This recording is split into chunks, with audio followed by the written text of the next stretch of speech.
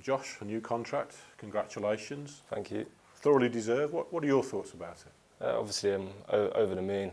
I'm, I'm just delighted to get the opportunity to play for the time on the contract and show what I can do to the manager and the club. What did the manager say to you about the new deal? What are the reasons behind it?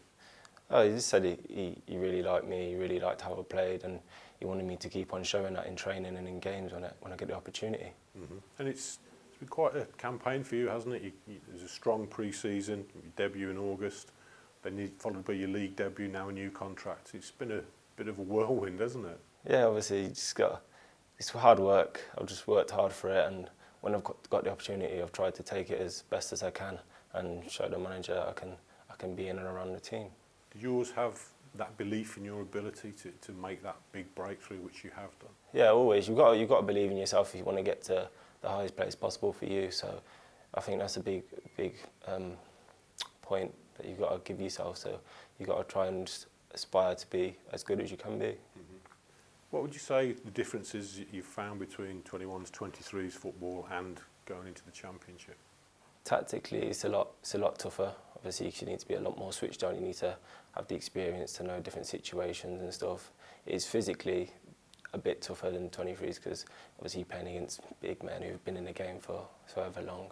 But it's it's I'm getting used to it. I think and I think I'm adapting well to it.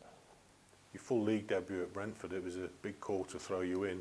How did you feel on that day, and how did you feel you performed? I was, I was just excited. I was excited to get out there from the first minute, and obviously first minute you you get a bit of not nerves, but you get a bit of like this tension in you. But after five minutes, I settled completely and felt I was um, settling in the game. What's next? What What are your immediate and longer term aims now? So just try and push to get in a starting position every week. So what I'm doing. When I try and help the team get to where they should be, and that's in the playoffs and promotion uh, pushing. Must have been a nice boost for you when the manager said that you know you you'd gone in the up the pecking order above Paul Caddis, who obviously a, a very popular figure at, at Blues. That must have been give, given you a, a real boost. Yeah, it does, because obviously Caddy's been in, the, been in the game for many, many years and is a very good professional. So to hear that is obviously really confident, give me a really big confident boost and to even believe in myself even more and show what I can do. With Paul obviously now moved on and Jonathan Spector, do you, do you see that opportunity now to cement that place either in the first team or in the squad or in and around things? Yeah, definitely. It's obviously it's a really positive sign that I've been given the opportunity to carry on playing here and hopefully I get more opportunities in the future. January window has just closed. A lot of players have come in. Some have been loaned out. Some have gone out. What, what's it like from a, a player's perspective? What have you assessed at the sort of business that the manager and the club has done in the last four weeks? it's a tough one. Obviously, he's brought in good quality players, and hopefully they can add real quality to the team. We just need to put that into practice now on the, on the game days and show the club what we can do. And what's what's it like to play for Gianfranco Zola? What, what what's he like as a manager, and how has maybe the training and the preparation changed? Yeah, he's a very good very good manager. Obviously, he's different to the last gaffer in the way he does things in training and stuff. But it's a really interesting way to learn things, especially as a young player. He likes he likes people playing playing with the ball and making passes and keeping possession. And obviously, young, all young players like doing that and like working hard and like getting forward, especially me as a fullback. He likes me getting forward and making things happen. So yeah, it's really, really good. And all the players and all the lads seem to be buying into it, seem to be enjoying it so far. Yeah, yeah, everyone's everyone's enjoying the style of play. Obviously, we're keeping more of the ball. Everyone's working hard.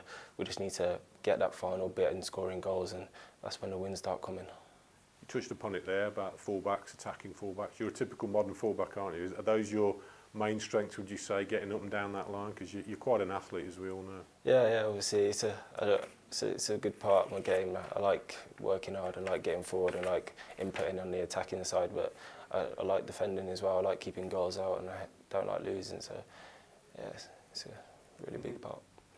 Take us back a couple of years ago because it's not always been plain sailing. You, I remember in the 21s, I think you were the captain at the time, you had a really a good start to the season, then you got an injury, and it was coming up to sort of contract time, wasn't it? Was that a, a concerning period for you or not?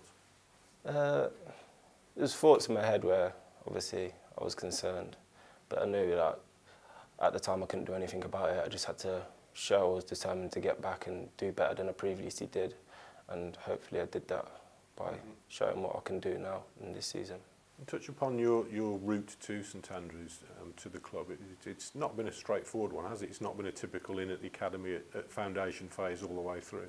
No, it's a, it's a hard one because obviously I came, in, I came into academy football quite late and obviously adapting to it was hard at the time. But the, the boys at the time welcomed me well and I uh, um, settled quickly. And then it was just about just keep on going and working hard and showing, showing the coaches and that, that I've, I've, I've got something that they need. Mm and then just pushing on from there throughout the years, throughout scholarship and pros, and just showing what I can do. And we're at the moment we're in a little bit of a, a, a sticky patch. There's a winless run. That's surely going to end soon, isn't it? Yeah, definitely, definitely. We've been we've been